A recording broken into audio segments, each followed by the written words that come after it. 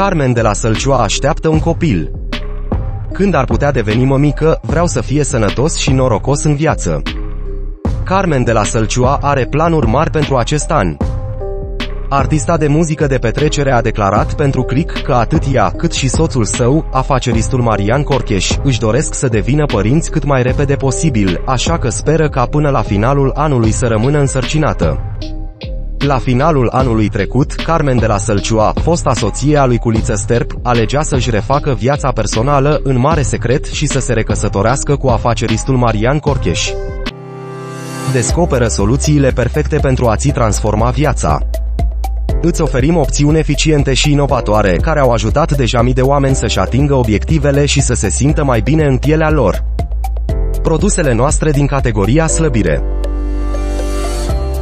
Frumusețe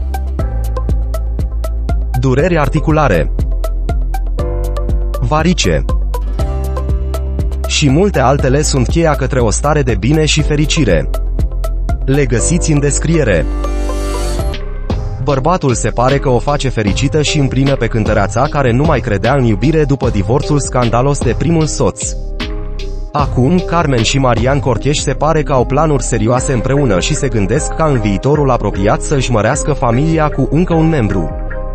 Sperăm ca după Paște, iepurașul să ne aducă un copil. Momentan nu sunt însărcinată, dar îmi doresc ca anul acesta să rămân gravidă. În rest nu vreau nimic de la iepuraș, anul ăsta și eu și Marian vrem să devenim părinți. Nu cer de la Dumnezeu să fie băiat sau fată, vreau doar să fie un copil sănătos și norocos în viață, atâta tot, a declarat Carmen de la Sălciua.